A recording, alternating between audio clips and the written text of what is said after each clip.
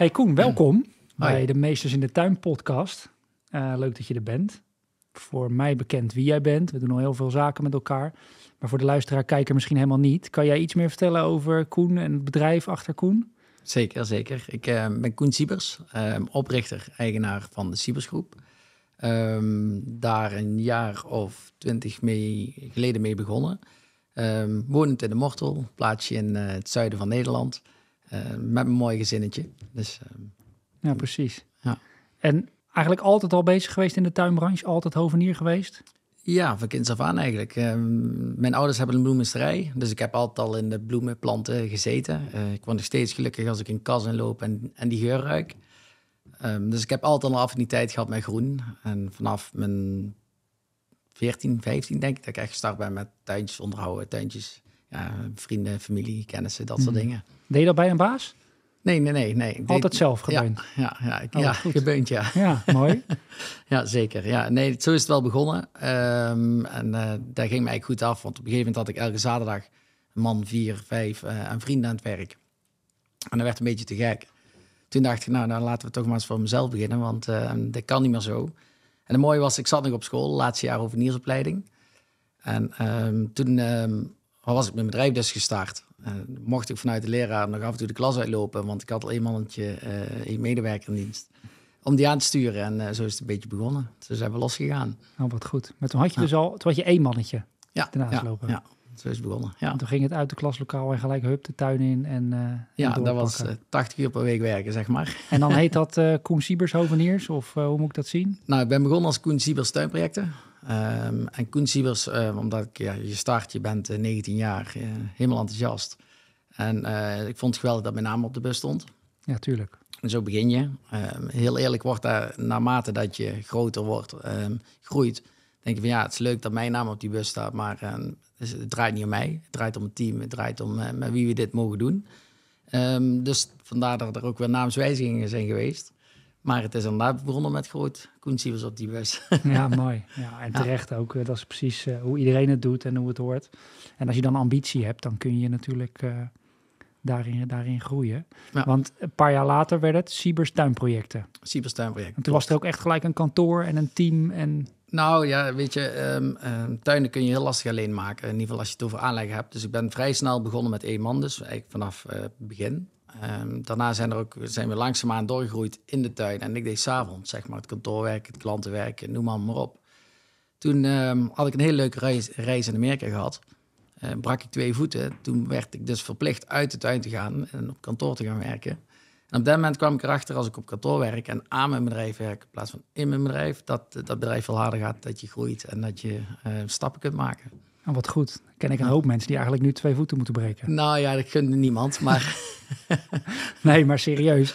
Dat is natuurlijk eigenlijk de kunst bij ieder ondernemer... om in een situatie te komen waarin je aan je bedrijf gaat werken. Ja. Alleen vaak door de gedrevenheid en de passie blijf je te veel in het bedrijf uh, werken. Of, of angst hè, die je hebt om... Uh, dus je, was ineens, je moest ineens gaan ondernemen vanuit binnen. Ja, goed. Ja, ja. en het uh, mooie was, toen ik net begonnen was... Uh, kijk, je hebt allemaal bedrijven waar je enorm tegenop kijkt. Uh, waar je omhoog wil trekken, waar je bij wil horen. Ehm, waar je wil zorgen dat je er ook gaat komen.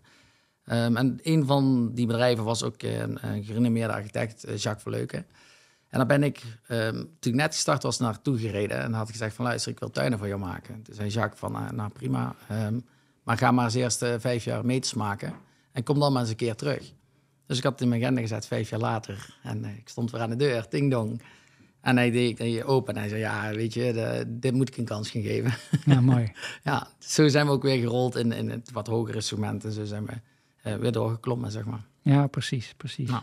Wel mooi, al die ambitie altijd. Hè? En uiteindelijk in 2021 ontstond de Siebers Groep. Hè? Dus van Koen Siebers, uh, hoveniers, uiteindelijk naar Siebers tuinprojecten. En nu hebben we een complete Siebers Groep. Daar zit Klopt op zeker een gedachte achter. Ja, ja nou weet je, uh, begin uh, hadden we een gehaktbal, om het zo maar even te noemen. Dus alle ingrediënten hadden we in één bal zitten en dat is wat we doen.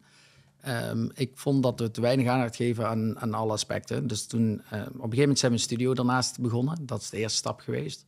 En die studio, um, voorheen deed ik zo, maakte ik een ontwerp. En als het dan uitgevoerd wordt krijg je terug, bla bla bla. Ik ben erachter gekomen dat geld of uh, dat gratis geen waarde heeft. dan laten mensen heel snel een ontwerp maken, laten ze kijken. En misschien doen ze er wel of niks mee, zeg maar. een gegeven moment zijn we dus geld voor ontwerpen gaan vragen.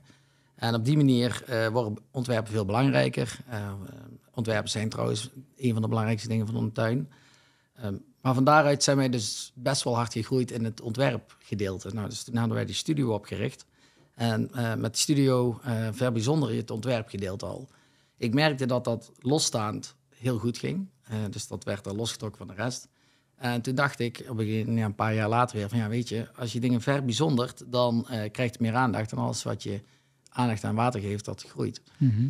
Dus dan hebben we dat gedaan. Ehm, en nu hebben wij dus inderdaad Siebers Groep. Uh, Studio Siebers, dat is onze ontwerpafdeling. We hebben Siebers Tuinprojecten, dat is de aanlegbedrijf. Siebers Hoveniers, dat is onze onderhoudstak. En Siebers Styling, die doen de meubeltjes, potjes, pannetjes, buitenkeukens, noem maar op. In richting van de tuin. Ja, dat er eigenlijk nog een strikje omheen zit. Ehm, ik heb gemerkt nu dat we dat lostrekken. Overal zit ook een verantwoordelijke op. Uh, die willen elk zijn eigen token goed laten gaan. Ja, dat, dat is voor het bedrijf, dat is voor de groep gewoon helemaal top gegaan. Dus, uh, ja, precies. En jij eens in de zoveel tijd zit jij met die verantwoordelijke aan tafel om te kijken hoe het binnen de afdeling gaat. Ja. En zo kun jij de groep sturen, zeg maar. Ja, klopt. Wel mooi om te zien dat je binnen de ontwerptak in eerste instantie denkt, laten we er geen geld voor vragen, want dan krijgen we waarschijnlijk zoveel mogelijk aanvragen. dat is vaak hoe het gaat. Ja. Ehm, maar dat dat uiteindelijk helemaal geen waarde heeft, inderdaad. En dat je dat uh, uiteindelijk op het moment dat je er geld voor gaat vragen, je misschien wel zelfs dan pas meer aanvragen gaat krijgen. Ja, ja dat, dat heel bizar, maar zo werkt het precies. Ja, precies. Ehm, ehm, daarnaast moet je altijd wel die kwaliteit nakomen. mooi verhaal van een vriend van mij, die had twee scharen. Eén schaar met een, een merk, zeg maar. en één schaar die had ze zelf ontwikkeld. Maar die schaar van nu was tien keer beter. Met alle kappels pakte die andere schaar, omdat die duurder was. Op een gegeven moment hebben ze gezegd, weet je, de schade die we zelf ontwikkeld hebben, die doen we gewoon in plaats van dat tientje, vragen we daar 120 euro voor. En ze gingen als warme broodjes over de toonbank. Ja, mooi. Ja, bizar. Ja, precies. Ja, ja. goed, goed is dat. Hey, wat wel lastig is, is dat creativiteit kan altijd een beetje een beperking zijn in het ondernemerschap. Want veel creatievelingen zijn niet per definitie de beste ontwerpers of eh, de beste ondernemers. Klopt. Ehm, volgens mij hebben jullie een partner hè, bij, bij, uh, bij de studio. Ja. Is dat bewust ook daardoor dat je creativiteit en ondernemerschap kan mixen, mengen? Ja, zeker. Nou ja, weet je, ehm, ik heb gemerkt dat je goede mensen om je heen verzamelt, dat je kunt groeien, dat je um, ieder ovenier begint zelf, doet alles zelf. Uh, dat iedereen, zo moet je ook starten, want je kunt niet in één keer. maar ik kwam erachter, als je goede mensen om je heen verzamelt, dat die mensen veel beter in bepaalde dingen zijn dan zelf. Dus eh, op een gegeven moment had ik dus bij de studio, eh, en dat was Jens, uh, nog steeds trouwens, ehm, bij ons werkzaam. En die kan gewoon veel beter ontwerpen dan ik dat kan. ik heb meer het stukje ondernemen in me. Jens is echt een, een, een, topontwerper. Nou, daar hebben we eigenlijk met al die dingetjes zo gedaan. Het enige met Jens is dan inderdaad een partner geworden. Bij de rest heb ik niet zozeer partners in zitten, maar meer bedrijfsverantwoordelijke. Ja. Ehm, maar ik merk wel als je goede mensen om je heen verzamelt, uh, dat je dan kan groeien en dat die nog veel betere dingen zijn dan dat je zelf bent. En Jens was daar een van de eerste in ehm, waar ik achter kwam van, hey, weet je, die moet ik echt aan boord houden. Uh, die moet ik zorgen dat hij de studio gaat runnen. Ja, weet je, dat is een gouden zet geweest. Dus, ja, mooi. Ja. ja, goed. Nou ben jij, als ik, zoals ik jou een beetje ken, ondernemer puur zang. Zou jij morgen ook een andere onderneming kunnen leiden? Of zit dat dat hovenierschap dan toch nog steeds wel echt in je bloed? Dat je zegt, ja, daar ga ik nooit meer uit. Um, goeie vraag. Ik, uh, ik, denk dat ik het zou kunnen. Maar uh, de liefde voor tuinen gaat denk ik nooit meer weg. Uh, het maken, het creëren, het opleveren, mensen blij maken. We hebben gewoon het mooiste vak van de wereld, durf ik hard te roepen. Sterker nog, het is volgens mij zelfs bewezen dat hoveniers de gelukkigste mensen zijn in, in een beroep, om het zo maar te zeggen. Um, je werkt buiten, je, hebt, eh, je kunt mensen blij maken, je creëert dingetjes. Ehm, dus, dus, je bent fysiek bezig. Ja, ja, gezond. buiten ook gewoon fantastisch natuurlijk. Dus ik denk niet dat ik um, uh, ooit anders zal gaan doen. Maar uh, ik zou niet zeggen dat ik het niet zou kunnen. Dat nee, precies. Dat denk ik ook niet. Maar dat was ook niet de vraag. Het is vooral inderdaad, zit die liefde er zo erg voor tuinen? Maar die zit er dus wel. Uh, gecombineerd aan, aan het blij maken van mensen. Ja. Wat ik wel een bruggetje hierop kan maken, is natuurlijk het is verdomd moeilijk om goede mensen te krijgen. Waarom is dat dan zo lastig voor het leukste beroep van...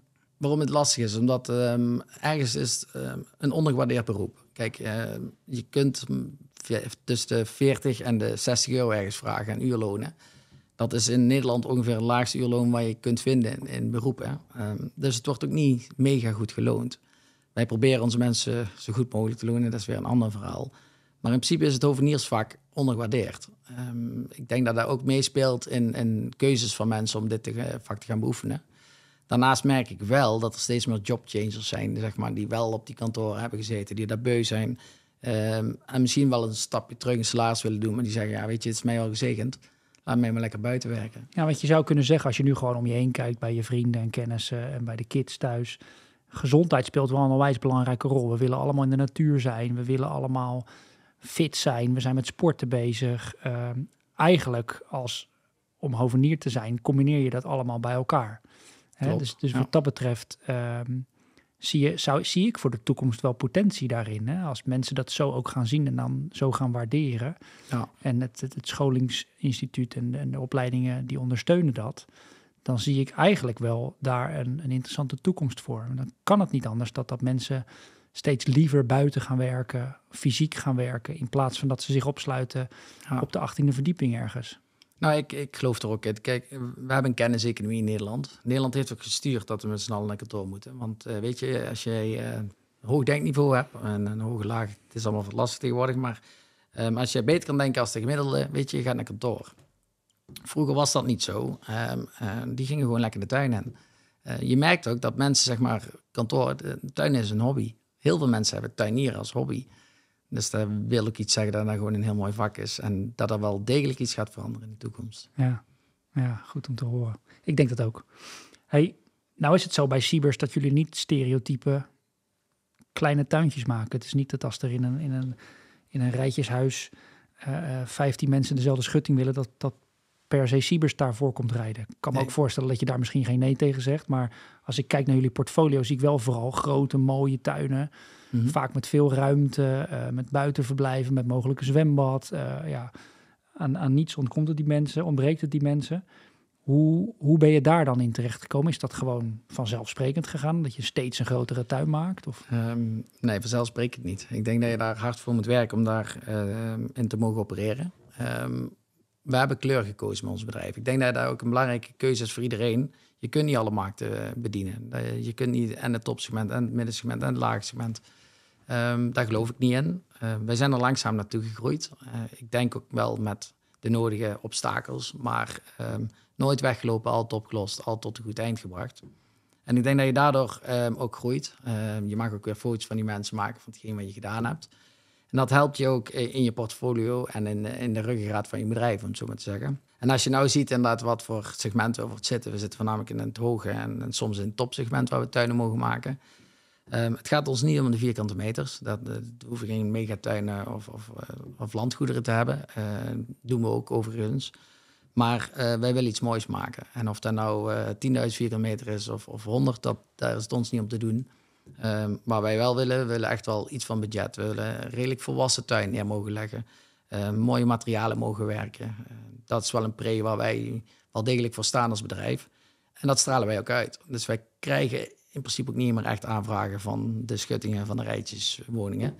Niet dat er iets mis mee is, maar we hebben een andere kleur gekozen. Ja, precies. Dus je wil echt wel een stukje onderscheidend vermogen creëren, creativiteit kwijt kunnen. Ja. En dat kan ook in een stadstuintje van 60 vierkante meter. Zeker. Ja. Dat kan misschien nog makkelijker in een, op, een, op een landgoed. Dat, uh, dat kan ik me wel voorstellen. Nou is het wel zo dat die, die klant die, die ideeën heeft, of waar jullie die ideeën voor creëren, heb je niet het gevoel dat die steeds veel eisender wordt? Uh, mooie vraag. Uh, zeker zo. um, ja, klanten worden zeker meer eisender. Um, dat betekent dat je er meer bovenop moet zitten. En dat je meer met je klant in gesprek moet zijn. Dat je ze genoeg aandacht moet geven. Maar ja, het is wel topsport. Ik zou liegen als ik zeg dat het uh, ons makkelijk afgaat. En dat we twee vingers in de neus al die tuinen maken. Het is gewoon wel voor topsport om in dit segment te opereren. Um, heel gaaf, heel mooi. Geweldige eindresultaten. Ja, het is uitdagend uitdaging, precies dat. Ja. ja. Ik kan me ook voorstellen dat je nou ja, bijvoorbeeld op Champions League niveau opereert, als je het zo mag noemen, of op mhm. Olympisch niveau opereert. Als je het vergelijkt met sporters, die moeten er ook keihard voor trainen. Hoe zorg jij daarvoor? Want de markt verandert natuurlijk enorm snel. Productontwikkelingen worden ieder jaar maar weer de markt ingeslingerd. Klopt. Ja. Uh, terwijl jullie gewoon met je handen in het werk zitten. Hoe, hoe hou je dat bij? Nou, we hebben in ieder geval een studio, dat is onze creatieve afdeling. Ehm, die doen best veel uitstapjes, uh, die bezoeken beurzen, die gaan uh, naar van alles toe om te zorgen dat ze up-to-date blijven. Vaak hebben die ook daarnaast ook de hobby ehm, om als ze op vakantie zijn tuinen te gaan bezoeken in, in, het buitenland en dergelijke. Waardoor ze wel heel veel informatie opsnuiven. Um, onze hoveniers, die hebben wij cursussen voor, een paar per jaar. Um, dat is één ding wat heel belangrijk is. Daarnaast gaan wij ook, uh, ja, meestal is een, uh, meestal een tuin-event. Dat doen we ook met het hele team, bewust. Om te zorgen uh, dat alle jongens zien van, hey, waar komen de producten nou vandaan? Wie staat er achter die producten? waarom gebruiken wij die producten? Dat is heel leuk om, om die jongens dan ook mee te nemen. Want dan krijgen ze ook kennis van hetgeen waarvoor wij voor kiezen. Dus wij proberen ze op die manier zoveel mogelijk up-to-date te houden. En als er iets nieuws is, ja goed, dan hebben wij een interne meeting om te zorgen dat iedereen die dat gaat verwerken of mee moet werken, ook weet hoe dat zit. Ja, precies. Ja, Mees in de tuin is bij toeval ook eigenlijk op die manier ontstaan, omdat wij merkten dat die bewuste klantgroep niet naar de traditionele beurzen ging, maar daarnaast ook dat er gewoon heel veel kennis tekort is. En ik heb ook wel eens geschreven laatst in een vakblad dat dat niet per se komt door die vakman.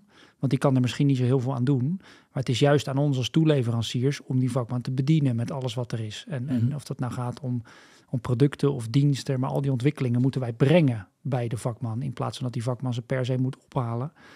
Ehm, maar ik merk wel dat ook met het organiseren van het, het, event de laatste jaren, dat wij steeds meer toewijzen op kennis en op inspiratie en op het brengen van sprekers. Omdat er gewoon is, er is zo'n inhaalslag nodig.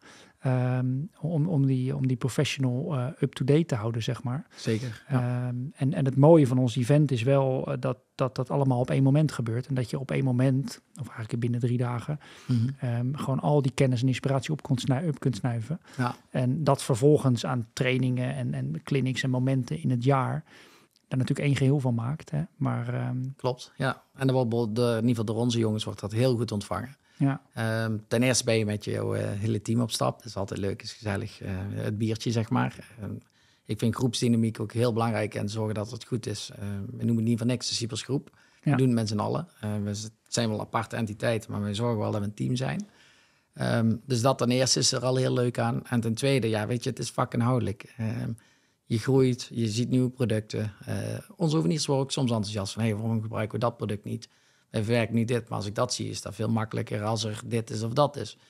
Uh, ook onze hoveniers hebben ooit kennis, want die staan altijd in de tuin. Dat wij denken van, ja, weet je dit gelijk in, dan moeten we anders gaan doen. En, het meenemen naar zo'n event, uh, plus dan in de informatie die je erbij krijgt, is voor ons altijd wel een, een hele mooie uitkomst hierin. Ja, we doen het ook heel bewust. Echt er een, een, een, een gezellig moment van maken gecombineerd aan een stukje kennis en inspiratie. Want ik denk dat die drie pijlers, dat die ervoor zorgen dat, uh, dat een bedrijf als jullie naar ons evenement toe komt. Ik denk dat je er ook niet één weg zou kunnen halen, dat het allemaal om elkaar ondersteunt. Maar jullie werken sowieso wel veel aan werkgeluk. Hè? Want ik zag laatst ook ergens iets over een familiedag. Of, uh, ja, is, is dat een pijler bij jullie? Nou, weet je, um, wat, wat je vertelde, um, personeel aankomen, medewerkers, is, is, is gewoon lastig. Um, dus, dus de, de second de eerste voorwaarden, zeg maar, ja goed, die moeten oké zijn, die moeten goed zijn, die moeten netjes zijn. Maar daarnaast de secundaire uh, arbeidsvoorwaarden, ja, weet je, daar denk ik dat de medewerker voor kiest. Dus zorg dat je het gezellig hebt op je bedrijf. Zorg dat je een team bent. Zorg dat je leuke dingen doet met elkaar. Zorg dat ze heel veel kunnen leren. Ja, en weet je, zorg ook dat ze gaaf werk hebben. Goede kleding, goede materialen zorg voor die mensen. Want heel eerlijk, um, kan heel mooi dat Siebels op die uh, muur hebben staan. Maar als al mijn medewerkers weglopen, dan houdt het voor mij helemaal op. Dus um, ben goed voor ze. Uh, op die manier kun je ook echt groeien en behouden. En daar uh, steken wij veel energie in, zeker. Ja, precies. Sterk vind ik dat. Ik heb er zelf altijd tegen mezelf gezegd en een belofte gemaakt dat de dag dat ik het gevoel heb dat ik naar mijn werk toe rijd, stop ik met werken. Um, omdat ik er heel erg in geloof dat Um, of je nou werkt, of dat je nou thuis zit, of dat het nou weekend is of door de week is. Dit is gewoon je leven. Mm -hmm. En je moet gewoon goed voor jezelf zorgen, het naar je zin hebben. Of het nou dinsdag is, of zondag, of zaterdag. Ja. Um, iedere, iedere dag van de week moet leuk zijn. En, en um, waarom moet het op het werk dan allemaal uh, hard knallen zijn en niet lachen? En, en mag je alleen in het weekend een biertje drinken en, en gezellig zijn? Ja. dus, dus wel sterk dat je dat zo zo aanpakt. Ja, helemaal mee eens. En weet je, ehm, het, het, regent ooit op een dag, uh, zowel in, uh, in, in, humeur als, als buiten. Dus tuurlijk eh, is het niet altijd feest. Maar als je zorgt dat in ieder geval 90% van je werk altijd gewoon leuk is en gezellig is. Um, als je doet wat je leuk vindt, hoef je nooit te werken, zeggen ze. Dus, ja. ja. en zit je om werk verlegen? Uh, nee, werknemers. ja, precies. nee, wij hebben, uh, onze formule is wat dat betreft echt goud. We, de, de, de studioformule uh, werkt ook landelijk. Um, als je ziet hoeveel ontwerpen die per jaar weg mogen werken. wegwerken is helemaal het verkeerde woord, want ze doen dat met heel veel liefde. Maar hoeveel ons gegund wordt, ja, weet je, um, in uitvoering. Ja, als ik al die ontwerpen moet gaan uitvoeren die wij mogen ontwerpen, ja, dat, daar kunnen wij niet eens aan. Sterker nog, ik denk dat we nu ongeveer een kwart tot 20% uitvoeren van wat wij ontwerpen.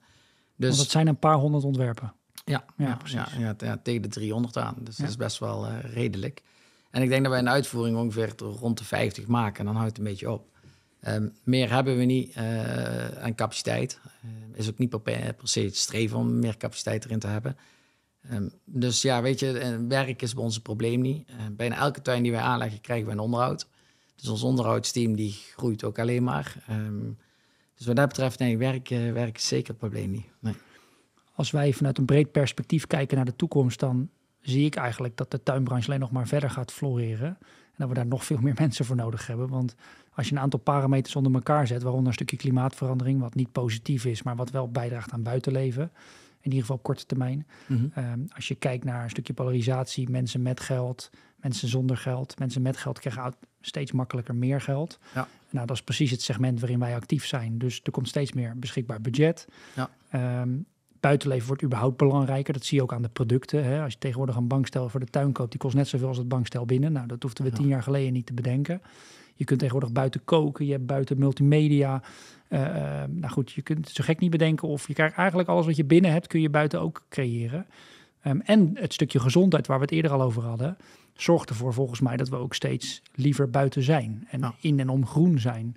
Nou, als je dat onder elkaar zet, dan kan het toch niet anders dan dat die tuinbranche de komende 10, 20 jaar nog verder explodeert. Um, ik ben er eigenlijk van overtuigd dat je gelijk hebt. Ja. en waarom? Um, het, begint, het, begint eigenlijk al, kijk eens naar de supermarkt. De, de, gesneden groentes, die lopen volgens mij het hardst. Dus, dus mensen willen ook steeds minder doen. Uh, willen dat voor ze gedaan wordt. En die groene vingers, in ieder geval de ambacht, dat is ook steeds meer weg uit Nederland. Waardoor ze steeds liever hebben dat er hulp komt, of in ieder geval dat ze ondersteund worden. Ja, goed. En mensen met geld, die krijgen alleen maar meer geld in Nederland. Dat, dat merk je in alles. Um, dat segment mogen we inderdaad werken. Ja, weet je, die willen best in de tuin werken, maar dat moet geen moed zijn. Dus die moed, die pakken wij voor ze weg. En, uh, en als ze nog zin hebben, dan mogen, kunnen ze lekker in de tuin uh, heerlijk genieten.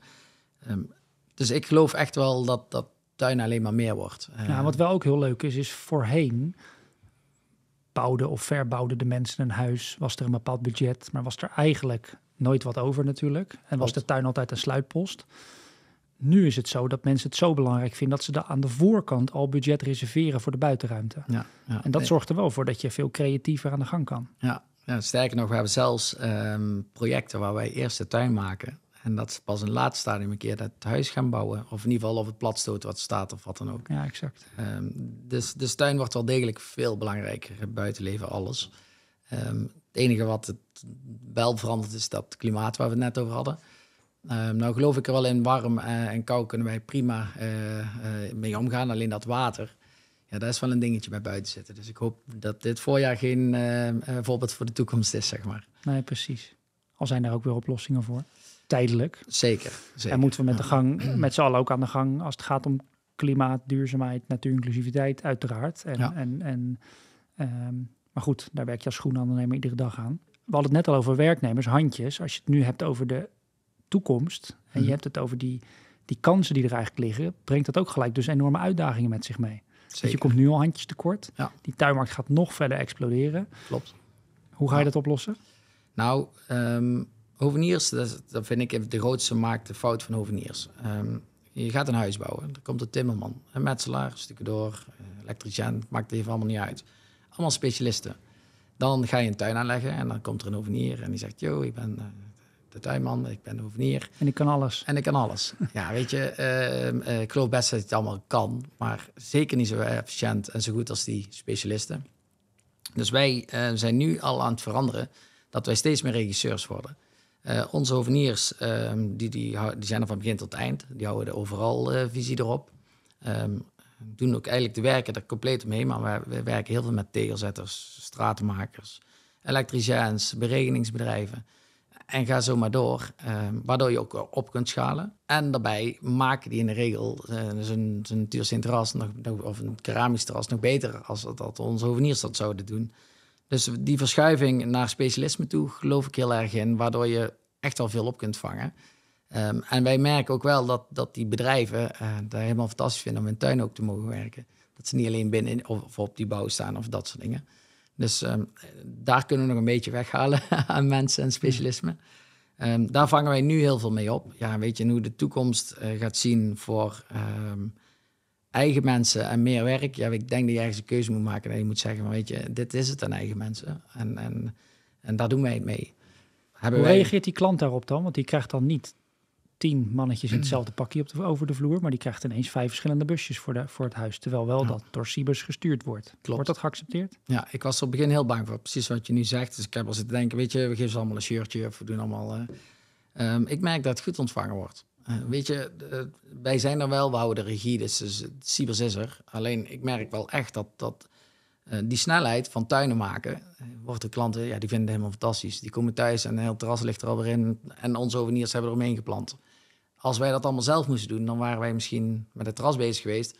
Maar eromheen planting was nog niet af. Dus ik merk dat, dat de klant die heeft veel liever dat die tuin goed verloopt. En dat het helemaal top gaat.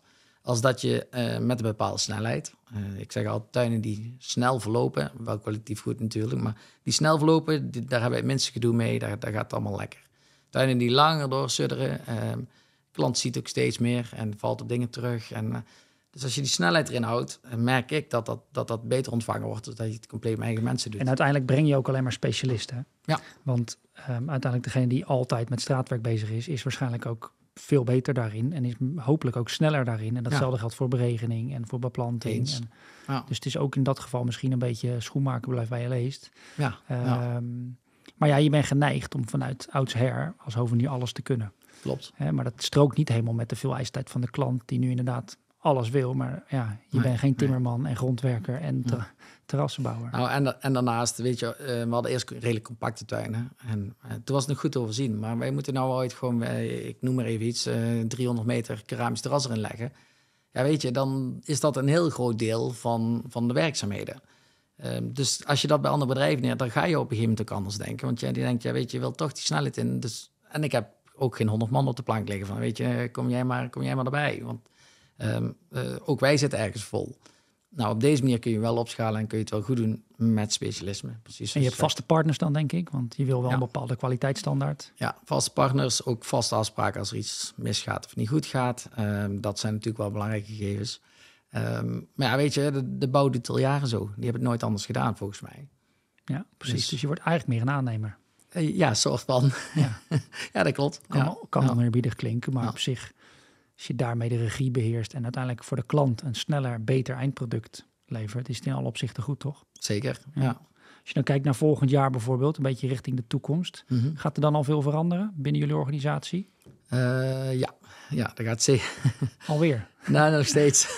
Je kan ook keer rustig aan doen, hè? Ja, dat weet je, daar ben ik niet zo goed in. Dat wordt me vaker gezegd. Uh, ik heb het wel geleerd dat ik uh, niet meer die man van de vervaren die voorop loopt uh, moet zijn. Um, die man moet ik wel zijn, maar ik moet wel achterom blijven kijken of het vervaren volgt. Nou, daar heb ik al in het verleden wel eens ooit verkeerd gedaan. Uh, liep ik al aan het einde van de straat, keek ik om en dacht ik was het vervaren gebleven. Dus, ja. um, dus ik heb wel geleerd om te zorgen dat je niet te hard groeit en dat je je team en alles erin meeneemt. Um, dus zonder verrassingen daarin. Alleen, ja, weet, ik ben wel te veel ondernemer om die, uh, al die ontwerpen die wij zeg maar niet mogen uitvoeren, om die zomaar weg te laten lopen. Um, daar zijn wij wel druk mee bezig en daar zijn we iets in het opzetten om dat op te lossen en ook in ieder geval de klant daarin te kunnen bedienen. Uh, dus daar gaat volgend jaar zeker iets uh, in, in, in, gebeuren, inkomen. Ja. Oké, okay. dat is nog allemaal geheim? Ja, ik kan er nog niet te veel over zeggen, want uh, het is nog niet 100%. Nee, en, precies. Dus dat eigenlijk meer. Stap voor stap. Nou, dat bespreken we dan in de podcast van volgend jaar. Goed? Afgesproken.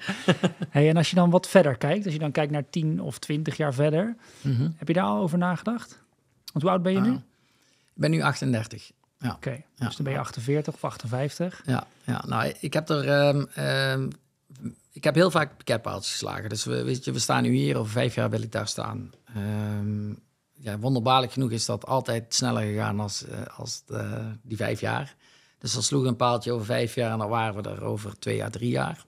Dus, dus wat dat betreft vind ik het lastig om tien jaar vooruit te gaan kijken. Vijf jaar lukt me niet al niet eens. ik heb ook geen glazen bol om dat precies te weten hoe dat gaat. Maar ehm, ehm, zoals ik in ieder geval wil voor gaan, is dat ons bedrijf een toonaangevend bedrijf in Nederland is. Ehm, ook gewoon zorgt dat alles goed verloopt. Blije klanten om ons heen. Blije werknemers om ons heen. ook fijn als er iets overblijft. Hè, dat we kunnen, kunnen leven met z'n allen. En dan, uh, dan is het mij ergens wel gezegend. Ja, precies. Ja. ja, mooi om te horen. Mooie visie wel. Weet je eigenlijk, een beetje ter afsluiting, waarom het zo lastig is om hoveniersbedrijven met elkaar te laten samenwerken? Is dat een soort van.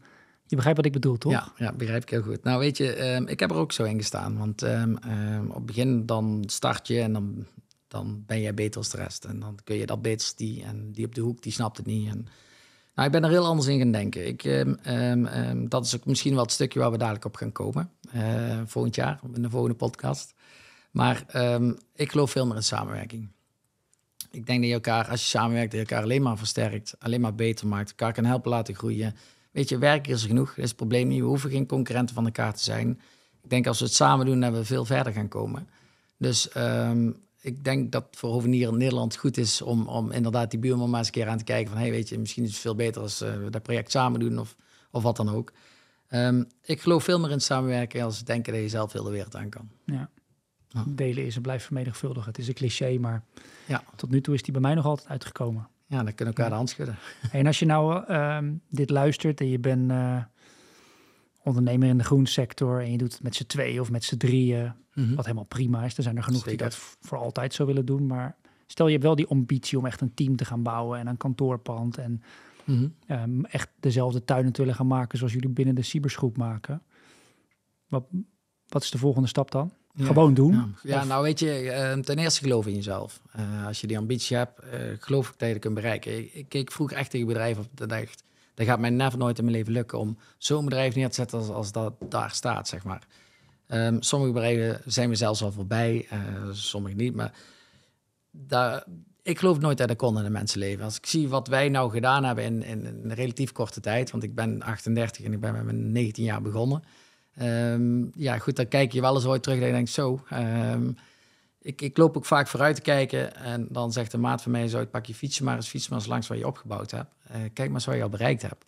Het streven naar beter moet er altijd zijn. Het streven uh, uh, naar je droom, zeker. Geloof er ook in, in jezelf. Maar kijk ooit terug waar je wel al gered hebt en waar je wel al klaargespeeld hebt, zeg maar. Want die voldoening mag er ook zijn. Maar ik denk als je um, die stappen wil gaan maken, zorg dat je begint dat je een goed plan hebt. Een goed plan is eigenlijk de basis van, van, van een gave tuin. Ehm, je gaat er geen huis bouwen zonder dat er een architect is geweest. Dus, dus zorg dat het plan gewoon echt goed is. Ehm, uitvoering, nou waarschijnlijk kunnen ze dat, want heel veel oveniers kunnen echt wel fantastische tuinen maken. Ehm, maar als dat goed plan er is, dan maak je ook steeds vettere dingen. maak dat plan ook belangrijk. Laat mensen ook uh, zorgen dat ze uh, ervoor betalen. Want ook daar zit energie in, daar zit heel je gedachtegang in. En daarnaast probeer er naartoe te werken om je tuinen steeds mooier en volwassener aan te mogen planten. Want dat is eigenlijk al, um, kijk, als je hele kleine bomen plant, dat is fantastisch, maar dan is die beleving er in principe pas over tien jaar of vijf jaar. Mag, je grote beplanting neerzetten, ja, dan is die beleving meteen fantastisch. Je foto's worden beter. Um, ja, op die manier groei organisch. Maar er is altijd, denk ik, als jonge onderneming een soort van beperking van laat ik maar niet te dure boom voorstellen. Hè, eh, toch het allemaal wat kleinschaliger te maken met de angst om de klant te verliezen. Ja. Um, ik denk dat daar ja, vanuit mij in ieder geval een tip in zou zitten van je hoeft niet over de top te werken. En je hoeft niet op het moment dat er een budget gegeven is met een dubbel budget terug te komen. Want dat is ook de omgekeerde wereld. Klopt. Maar jij kunt nooit in de portemonnee van een ander kijken als je het niet weet. Nee. En probeer eerst maar eens gewoon te laten zien wat er allemaal kan en wat er allemaal mogelijk is. En dan denk ik dat je veel meer mag uitvoeren dan dat je aan de voorkant zou denken. Ja, zeker waar. durf te vragen. Precies. Uh, heel eerlijk ben ik het zelf opgevoed de show. Ehm, ik durf dat ook niet zozeer. Maar als ik zie wat we nu uh, voor tuinen mogen maken en wat daar voor budget aan hangen, is het eigenlijk gewoon bizar. En fantastisch mooi dat je gegund wordt en toevertrouwd wordt. Maar uh, het is wel begonnen met dat vet ontwerp en inderdaad durf te vragen. Stel die gave tegel voor, uh, pak die dikkere boom, dat soort dingen. En je merkt gewoon, de klanten met budget, die, die willen dat ook. En die pakken de hovenier zeg maar, van een, ander segment ook niet, omdat ze juist die dikkere boom willen of dat vettere tegeltje of in ieder geval sowieso dat kloppende geheel. Dus inderdaad, durf te vragen. Heel, uh, heel belangrijk gegeven. Ja, mooi. En dan om af te sluiten, wat jij net wel net al toegaf, is kijk af en toe over je schouder heen hè, om te zien wat je al bereikt hebt. Ik denk dat heel weinig mensen dat doen. En ik denk dat heel weinig mensen ook bezig zijn met de reis. Hè, dus met, met wat ze iedere dag gewoon doen. En altijd maar bezig zijn met dat doel. En ik wil daar naartoe. En als ik daar ben, dan, dan mhm. ben ik er. Of dan heb ik het bereikt. Of dan daar is de finish. Ik voel me nog steeds een jonge hond, maar ik word ook wat ouder. En dan ga ik wel steeds meer inzien dat die finish eigenlijk er toch nooit is. Je komt, wij, jij en ik komen nooit op die finishlijn uit, want die verleggen we gewoon continu. Of de markt om je heen verlegt die. Dus je kan maar beter gewoon genieten van vandaag dat we hier zitten midden in die podcastshow en dat dit ook leuk is. En dan morgen is er weer een nieuwe dag. En gewoon inderdaad trots zijn op wat je hebt gedaan. Of je nou met z'n tweeën of z'n drieën werkt en je werkt nog half vanuit huis. Uh, en je hebt nog al die ambities of je hebt inderdaad al een mooi team en pand staan. Uh, het leven is te kort om niet te genieten, dus wees ook gewoon blij met hoe ver je nu bent. Ja, toch? Dat is wat het is. 100.000% eens. Mooie afsluiting, Koen. Dankjewel. We spreken elkaar later. Dankjewel. Yes.